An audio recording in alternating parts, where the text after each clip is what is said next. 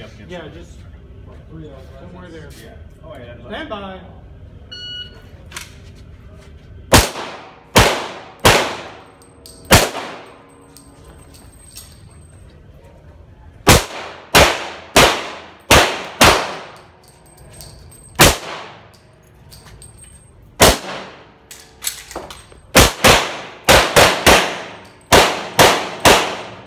You're done unloading.